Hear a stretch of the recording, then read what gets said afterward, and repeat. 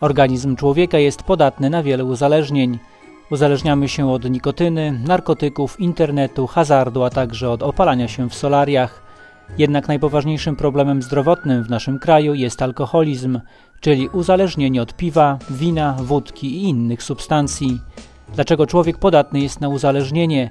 Jakie mechanizmy psychiczne i fizyczne związane są z alkoholizmem? Mamy jakieś takie uwarunkowania y, związane z naszą genetyką, z naszą biologią, które w jednych wypadkach sprzyjają uzależnieniu, w innych wypadkach nie sprzyjają.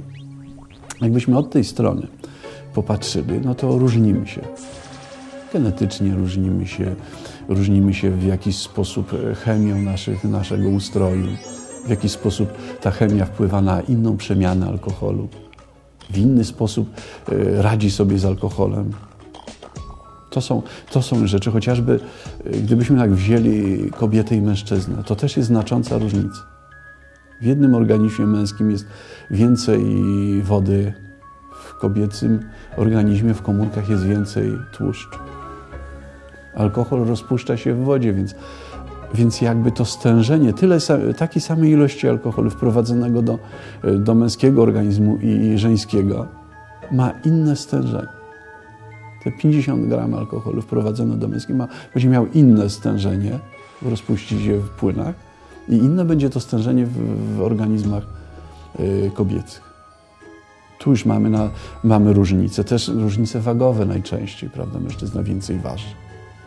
Więc ten stosunek alkoholu do wagi też jest inny niż yy, to mamy yy, dwie, prawda? dwie takie ważne różnice, chociażby od strony genetycznej. Stąd też to działanie yy, na kobiety alkohol jest silniejszy.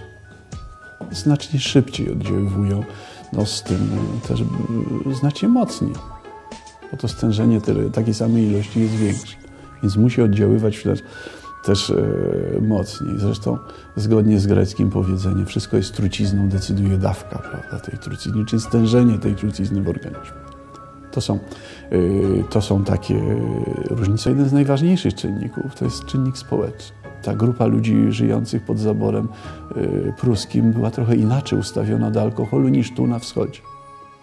Tam inaczej go używano, tu inaczej. Jakby poprzez, e, poprzez funkcjonowanie tak trochę w normach e, niemieckich, ci ludzie zmienili też stosunek do picia. Zresztą niedaleko szukać, bo teraz, kiedy wyjeżdżają nasi prawda, pracownicy do Niemiec, to okazuje się, że bardzo szybko przestawiają się na, na picie weekendowe. Że kiedy mają weekend, w sobotę upijają się, niedzielę cierpią, prawda, a w niedzielę idą, a w poniedziałek idą do pracy. A tutaj było odwrotnie. Jak dostał w środę pieniądze, to do następnej środy był pijany. Aż mu skończyły się pieniądze. Ten sam tam jechał. Inne, inne warunki społeczne. Też warunki, które społeczne mogą sprzyjać lub nie. Jak już mówiliśmy o, o Włochach, gdzie, gdzie jest sporo alkoholu i jego używa się właściwie na co dzień, ale tam nie ma takiej kultury, która by pozwalała na tolerancję u ludzi pijanych, na tolerowanie wszystkiego, co się wiąże z upijaniem się, z awanturnictwem, przekraczaniem pewnych norm. Owszem, alkohol służy zabawie, służy polepszaniu nastroju, ale upijanie się jest tam negatywnie odbierane. Często człowiek, który się upija, jest eliminowany z towarzystwa. U nas, jak popatrzymy, to mamy duże zezwolenie. Takie imprezy jak sobota, żeby się napić, prawda? Imprezy, imieniny, chrzciny czy, czy, czy, czy wesela, no to, to wszyscy tolerujemy, że się ktoś napił, bo wesele, bo, bo, bo, bo facet to musi, prawda? I od czasu. To są takie, takie bardzo zezwalające normy. Następnym czynnikami jest psychologia czyli ten zasób umiejętności psychologicznych, takich pewnych, e, pewien obszar naszych umiejętności.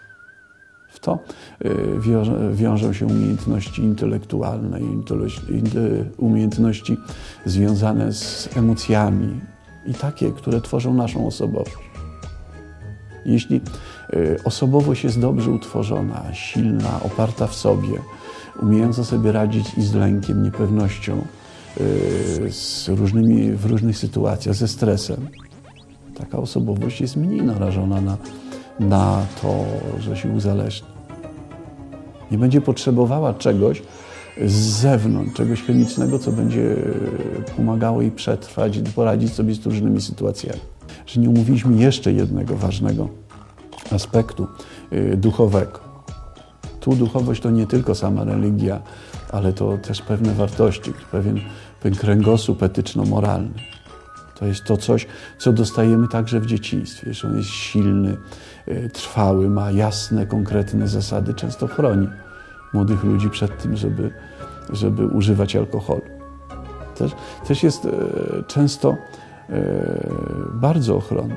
Większość młodych ludzi, e, kiedy podchodzi do pierwszej komunii, jest w chrześcijaństwie jest, jest sporo, prawda?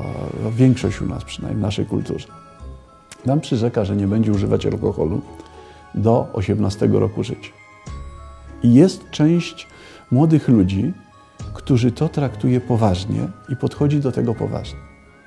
I bez względu na to, jakie ma sytuacje potem w tym dorastaniu, w tym 15-16 roku życia, to fakt, że, że, że, że, że że podjęło takie działanie, ma dla nich ograniczony, silnie hamujący aspekt. Prawda? I kiedy dopiero zaczyna alkohol używać, jak, jak kończy się ta, to przyrzeczenie to często bardzo mocno chroni. Pamiętajmy, że z każdym uzależnieniem możemy walczyć.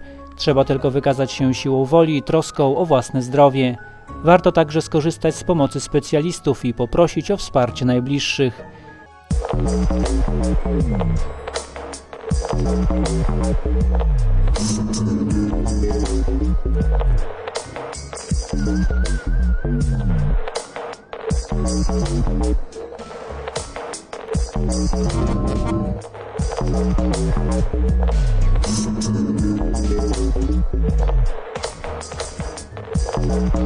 Thank